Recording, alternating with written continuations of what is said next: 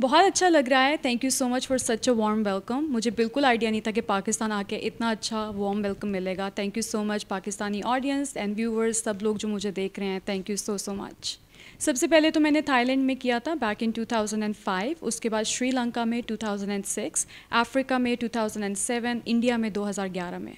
जी, मेरी एज बहुत कम थी. I think I was only twelve years old ख्याल ऐसे ही आया क्योंकि मैं बचपन से काम तो कर ही रही थी सोशल वर्क का और मुझे पता चला कि ये टाइटल के साथ मैं और ज़्यादा बेहतर काम कर सकती हूँ सोशल इश्यूज़ पे और पाकिस्तान का नाम ज़्यादा बेहतर तरीके से रो, रोशन कर सकती हूँ।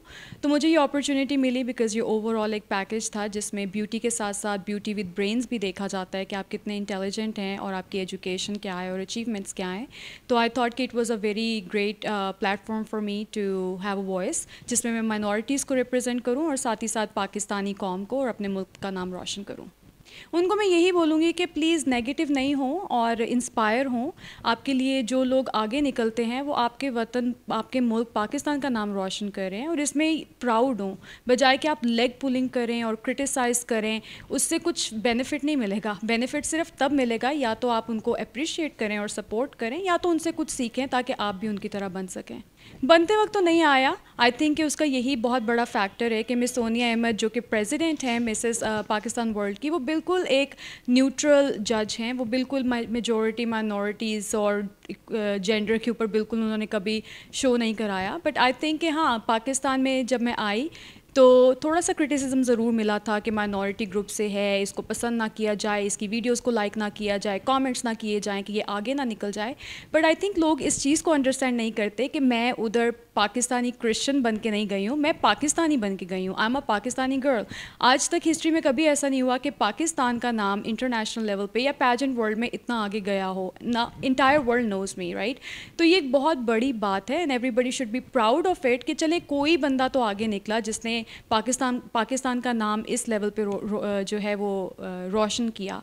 तो आई थिंक कि जब लोग इस बात को समझ जाएँगे तो वो माइनॉरिटी मेजोरिटी वाला कॉन्सेप्ट ख़त्म होगा। एवरीबडी शुड बी प्राउड कि at the end I'm a Pakistani and I am representing Pakistan only अगर रविश सोशल वर्कर ना होती तो रविश या तो लॉ में कुछ कर रही होती I sure I would have been a lawyer a barrister अगर वो नहीं तो जिस तरह भी मैं ह्यूमन रिसोर्स डेवलपमेंट पढ़ रही हूँ तो I think I would be a human resource director क्योंकि मैं मैरिड हूँ और मिसेस का जो टाइटल है वो सिर्फ़ मैरिड खातन के लिए होता है। मिस पाकिस्तान वर्ल्ड जो है वो सिंगल खातन के लिए होता है।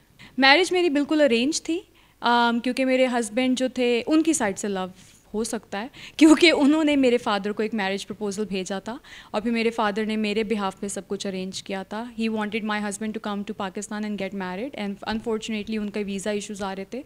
तो I we had to go to Dubai engagement वहाँ हुई और फिर शादी मेरी अमेरिका में जाकर हुई। वो बहुत खुश हैं। आई मीन ऑब्वियसली किसको खुशी नहीं होती कि उनका स्पाउस या उनका लाइफ पार्टनर लाइफ में इतना आगे बढ़े। उनकी सब सपोर्ट ही थी जिसकी वजह से मैं यहाँ तक पहुँची हूँ। एंड उनकी ही सपोर्ट है। उन्होंने ही मुझे बोला कि आपको पाकिस्तान जाना चाहिए। क्योंकि अभी जैसी कोविड ख़त्म हुआ तो ही न्यू कि मुझे पाकिस्तान जाके इसको पब्लिसाइज करना चाहिए ताकि पाकिस्तान में अवेयरनेस हो कि पैजेंट वर्ल्ड क्या है और विनर का टाइटल क्या होता है। तो he is been super supportive for sure I think कि गवर्नमेंट तक तो अभी मेरा उस तरीके से नहीं हुआ because I am still stuck with media interviews all that but I think that's in the plan I think I am surely gonna go visit governor house and other big politic politicians and other political leaders for sure लड़कियों को यही बोलूँगी कि please please please do not give up on your education हमारे माशरे में लड़कियाँ समझती हैं कि अच्छा अब शादी की उम्र हो गई तो अब पढ़ के क्या करना है? आप पढ़ेंगी नहीं तो आगे कुछ नहीं है, आपकी एजुकेशन आपको बहुत आगे तक लेके जाएगी. आई थिंक अगर मेरे पास एजुकेशन नहीं होती और सिर्फ़ मैं समझती कि okay I am beautiful and I will win it तो no that's not how it works education is very important so please do not give up on your education जितना ज़्यादा पढ़ सकते हैं, पढ़ें और आप शादी से पहले भी पढ़ सकते हैं और शादी के बाद भी पढ़ सकते हैं। आम अ लिविंग एग्ज़ाम्पल मैं आम अ मैरिड वुमेन एंड मैंने अपनी एजुकेशन जो है वो शादी के बाद भी कंटिन्यू की है and I am about to be a graduate जो पैजेंट कंपनी है मिसेस पाकिस्तान वर्ल्ड वो टोरंटो में बेस्ड है। मैं पाकिस्तानी हूँ I am living in US तो आप देखें कि कोई कनेक्शन नहीं है। यूएस कनाडा पाकिस्तान तो it's not bias at all उसकी रीज़न ये है क्योंकि एक जज नहीं होता there is a panel of जजेस तो आप एक को तो शायद फिर भी समहाउ कह सकते हैं कि फेवरेटिज्म होता है but how would you impress the other जजेस तो yes there is no favouritism at all everything is very transparent आपके इंटरव्यूज़ आपके, जो कुछ भी प्री होते हैं it's based based all on that और बिल्कुल फेवरेटिज़म नहीं है। आई थिंक ये बिल्कुल एक फॉल्स जो है वो इन्फॉर्मेशन है, ऐसा कुछ नहीं है। आपका प्योर टैलेंट और आपकी अचीवमेंट्स की बेसिस पे आपको विनर अनाउंस किया जाता है। आई डोंट थिंक सो ये आई थिंक हमारे पाकिस्तान में सिर्फ़ एक टैबू कह लें या एक स्टीरियो टाइप है कि लड़कियाँ जो हैं या औरतें जो हैं, जो मजलूम हैं। वेर एज अब मेरे ख्याल से कि कॉन्सेप्ट बहुत चेंज हो चुका है और हो रहा है। अब आप देखें, मैं मैं अगर आगे बढ़ी हूँ तो मेरी तरफ़ बहुत सारी और ख़वान हैं जो लाइफ के डिफरेंट फेजेज़ में बहुत आगे तक जा रही हैं। द ओनली डिफरेंस इज़ के सबको मीडिया कवरेज नहीं मिलता।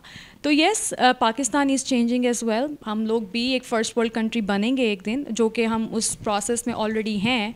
और उसके लिए सबसे ज़्यादा रोल जिस तरह मैंने पहले भी बोला था खातन का है बिकॉज़ हमारी आधी से ज़्यादा पॉपुलेशन इज़ वुमेन तो वुमेन को एम्पावर करना बहुत ज़्यादा ज़रूरी है उनको एजुकेशन देना बहुत ज़्यादा ज़रूरी है और उनको लाइफ में आगे बढ़ने के लिए मोटिवेट करना बहुत ज़रूरी है। तो as long as the women are motivated and educated I think के देर इज़ नो डाउट कि पाकिस्तान किसी से पीछे रहेगा। जाते जाते मैं यही बोलूँगी जो मैं ऑलरेडी एडवोकेट कर रही हूँ कि प्लीज़ वुमेन जितनी भी व्यूवर्स में ख़वान औरतें मौजूद हैं please do not give up on your education और अपना बहुत सारा ख्याल रखें और अपने एम्स और एम्बिशंस को हाई रखें। Do not let society define you and you can do what whatever you want to do, just focus and stay dedicated, and you will win the world.